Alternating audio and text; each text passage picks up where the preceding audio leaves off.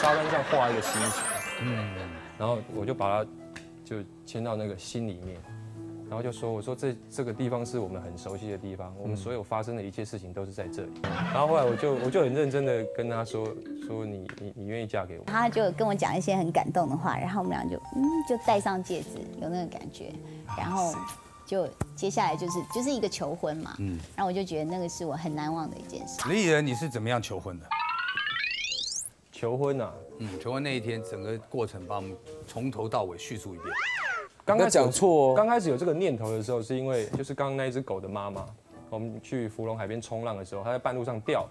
哎呀，就回上车的时候是两只狗，可是从从芙蓉海边开到台北市，车门一打开，剩下一只狗，哎呀就整个人就傻了，你们中间过程也是蛮不不蛮开心的，不太回头对，蛮开心，对对对。然后就一直聊天嘛，然后就就马上再开车回芙蓉去找那只狗，然后跟芙蓉的朋友借摩托车到整个山边、海边，然后到下水道都找，很怕看到就是一只狗的尸体，因为滨海公路很多砂石车。嗯。后来第二趟没找到回台北，第三趟在第三趟到晚上，有人打电话去电台，说好像捡到我们的狗。哎呦，我们晚上十一点连夜又杀下去宜兰，就看到我们那只母狗的时候很开心。嗯，那回来的时候，我就我就会有一个念头，我就跟他说，我说我们我们一家人不要分开，因为那个感那个感觉。怎么讲？我不会形容那个感觉，就是你，我们把她当自己的女儿，提心突然吊胆不见了，怎么办？你整个人都是崩溃了。你回到台北，你我们找不到那一趟回到台北路程，我们两个是是是是哭着回来的。然后第三趟去接到狗回来的路程，你会觉得那一切空气是幸福的，嗯你喜欢这个感觉。那时候我就跟他说，我们结婚吧？一家人不要分开。那时候还没有，就想说有这个念头。然后真正跟他求婚的时候，我们就跑去芙蓉的沙滩，嗯，然后很怂啊，蛮怂的。不会很正点，像这个，哎呀，我就在沙滩上画一个心形，嗯，然后我就把它就牵到那个心里面，然后就说我说这这个地方是我们很熟悉的地方，我们所有发生的一切事情都是在这里。嗯，那初期我也有参与了，什么意思我？就就是那个刚开始冲浪的时候我也有去嘛，啊后来发现太累了，就 你去过一次不。要去，太累了。啊，然后，然后后来我就我就很认真的跟他说说你你你愿意嫁给我？其实那时候大家已经有的有有这个共识，只是我觉得需要那那样的过程，啊，这是一个回忆嘛。嗯，对啊，像我们最近有一个化妆师朋友要结婚，我就跟他说，我说你一定要叫你男朋友跟你求婚，不管是在什么场合，哪怕就是在路边，或是在什么，你一定要一定要男生开口跟女生说你嫁给我好不好？不然你当初怎么嫁你会不知道，你又怎么答应？所以说当时你们是在一个心里面，对，就在沙滩那里画一个心这样。其实这个蛮省钱的哦。来，我们看一下 VCR。那我们求婚地点就在我我们定情的地方芙蓉海滩，嗯，那是我第一次看到他的地方冲浪这样。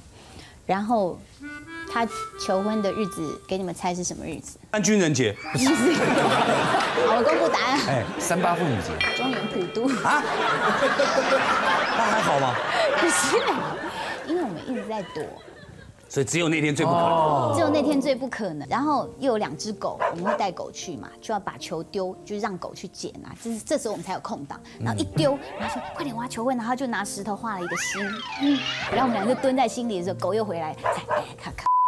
再丢出去，然后，然后，然后就继续，然后他就跟我讲一些很感动的话，然后我们俩就嗯，就戴上戒指，有那个感觉，然后就接下来就是就是一个求婚嘛，嗯，然后我就觉得那个是我很难忘的一件事。对女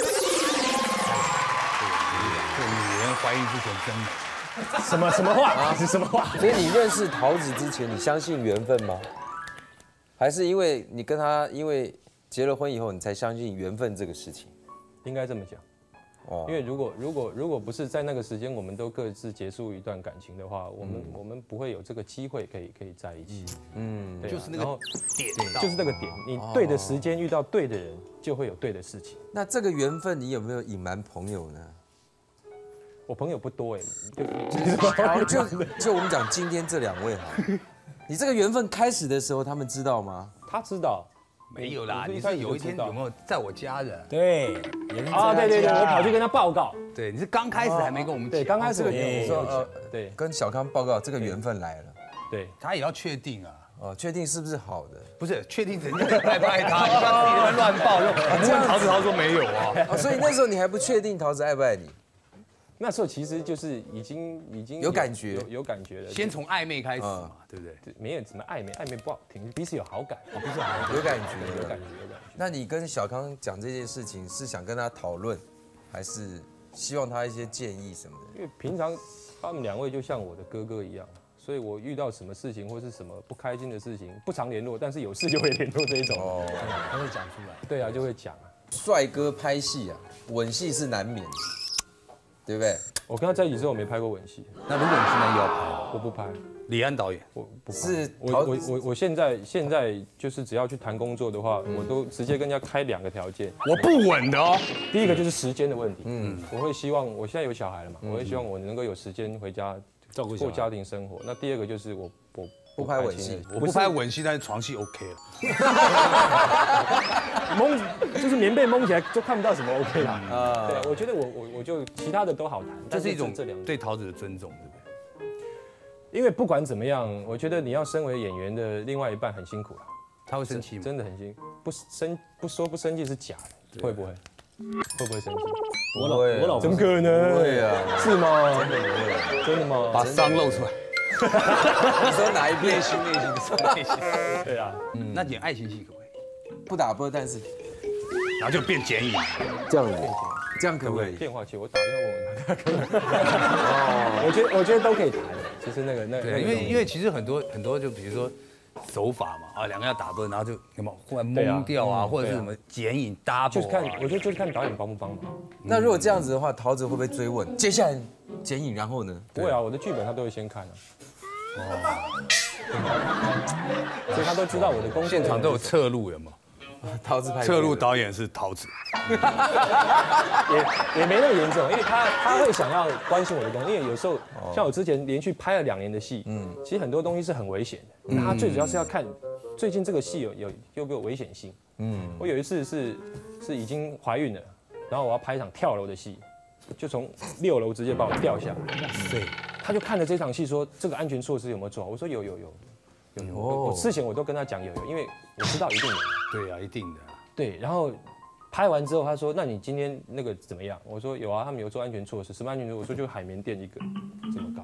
但是我是从六楼掉下来，那万一一个不小心的时候怎么办？对啊，钢钢丝断掉就完蛋了。